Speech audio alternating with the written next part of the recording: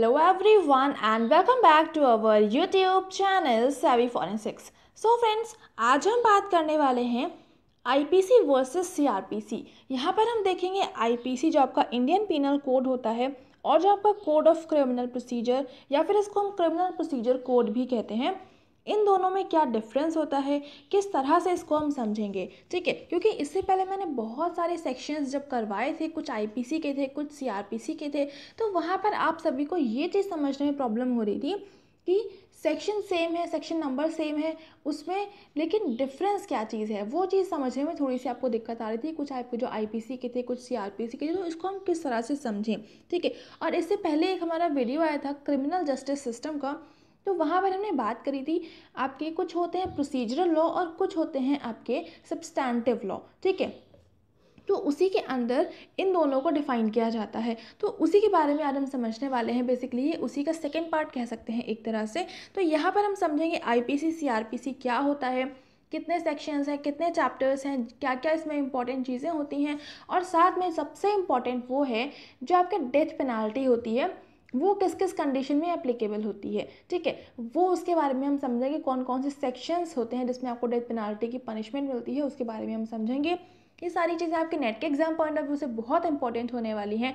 और उसके अलावा आईपीसी और सीआरपीसी में क्या बेसिक डिफरेंस है, ये समझना आपके लिए बहुत इंपॉर्टेंट है, ठीक है? तो यही आज हम करने वाले हैं और जल्दी से स्टार्ट कर लेते हैं। और उससे पहले, यहाँ पर सबसे पहले हम समझेंगे जो आपका आईपीसी होता है, इसका क्या मतलब होता है, ठीक है? सो so, जो आपका आईपीसी है ये आपका 1860 में इनैक्ट किया गया था और आईपीसी डिफाइन करता है different types of crimes and prescribes appropriate punishment for offences मतलब कि जो आपका आईपीसी है जो आपका इंडियन पिनल कोड है ये बताता है कि कितने तरह के आपके क्राइम होते हैं और जो भी क्राइम होते हैं उनके लिए क्या अप्रोप्रिएट पनिशमेंट हो सकती है। जो भी वो ऑफेंस करते हैं, जो भी कोई क्रिमिनल ऑफेंस करता है, उसके लिए प्रॉपर उसको क्या पनिशमेंट मिलनी चाहिए, वो पूरी चीज़ यहाँ पर आपका आईपीसी में डिफाइन किया जाता है। ठीक है?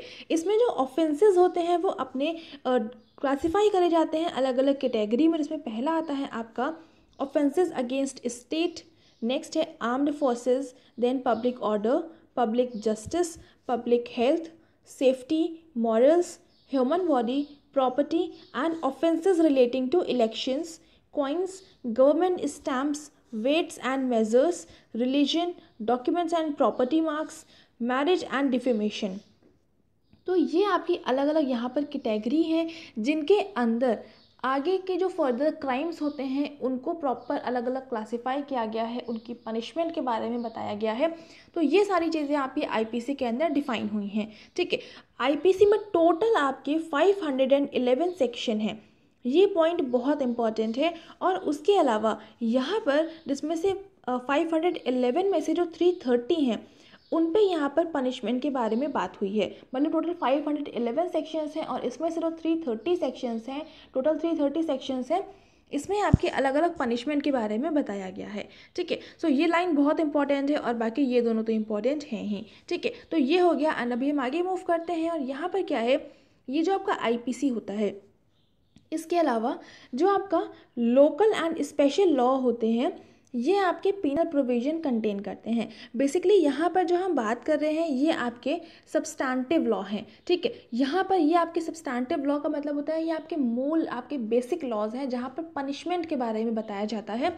तो यहीं पर आईपीसी में तो सारे के सारे पनिशमेंट और डेफिनेशंस क्राइम के बारे में वो सब बताया गया है।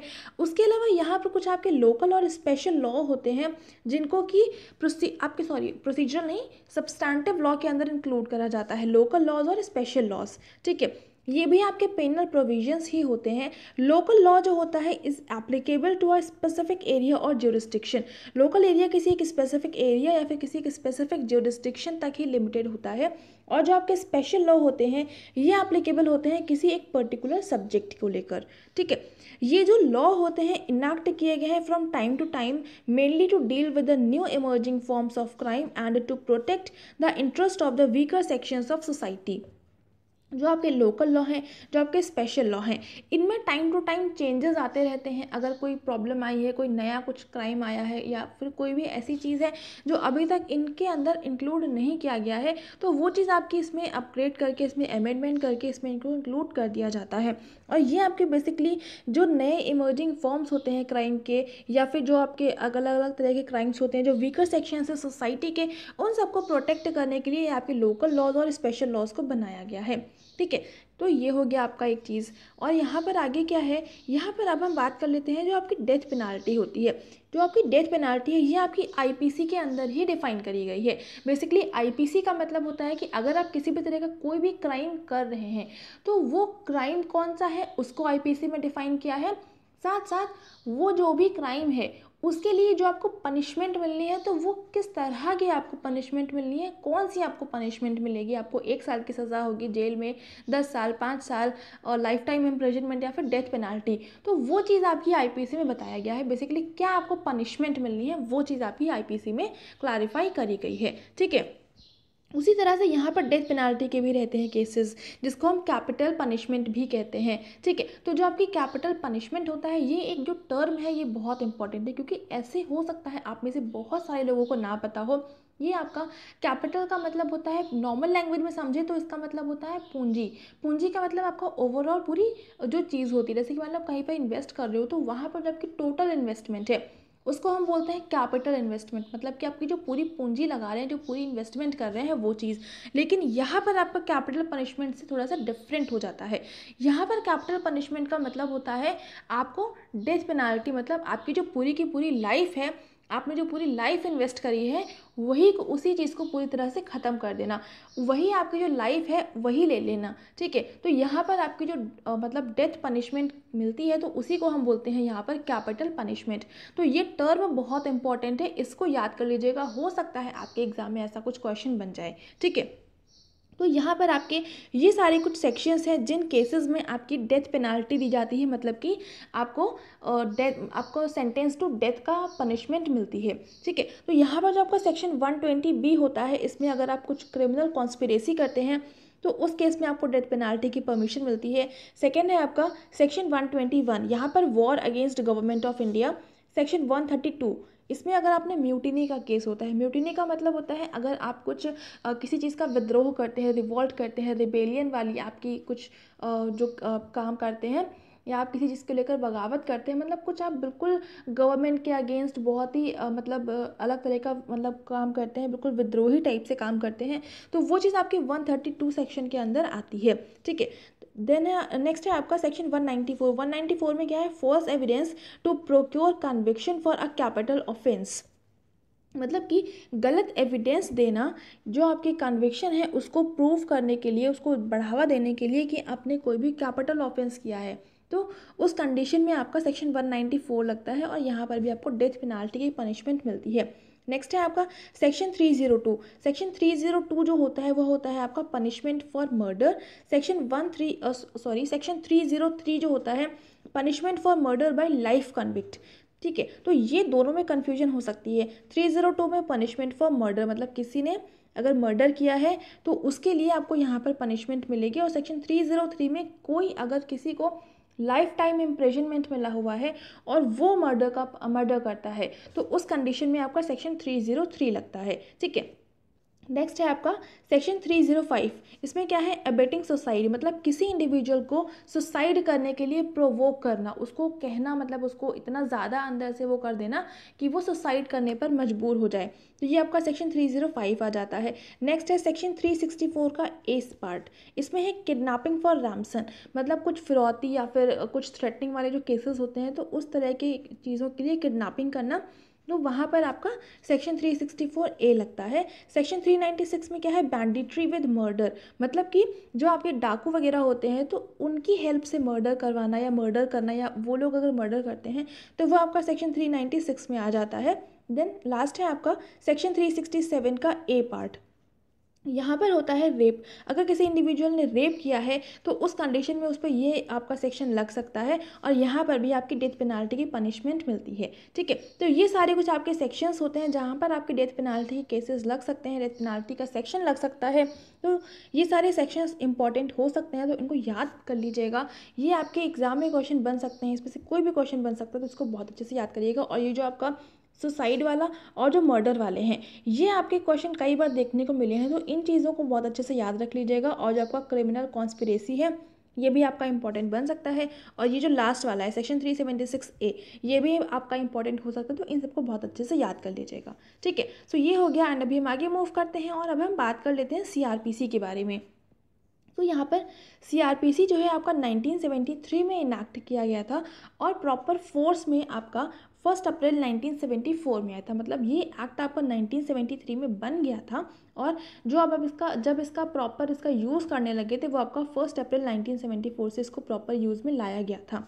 ठीक है, इसमें टोटल 484 सेक्शन है दो शेड्यूल हैं और 56 फॉर्म हैं इसमें।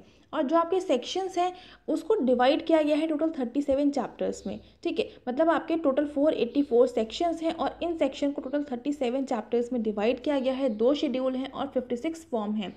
तो ये लाइन में सारी चीज़ें बहुत इंपॉर्टेंट है, इसको याद कर लीजिएगा। इसके अलावा अब हम बात करें कि जो सीआरपीसी होता है, वो बेसिकली क्या बताता है? So it provides the machinery machinery का मतलब है प्रोसीजर बताता है। For the investigation of crime, apprehension of suspected criminals, collection of evidence, determination of guilt or innocence of the accused person and the determination of punishment of the guilty. मतलब कि जैसे कि आपको इसके नाम से थोड़ा बहुत आइडिया लग रहा होगा कि ये चीज़ जो होती है, अगर कोई क्राइम हुआ है कहीं पर, किसी भी तरह का कोई भी क्राइम हुआ है तो उस क्राइम के साथ में हमको कैसे डील करना है? हमको किस तरह से इन्वेस्टिगेशन को परफॉर्म करना है? क्या हमें प्रोसीजर फॉलो करना चाहिए?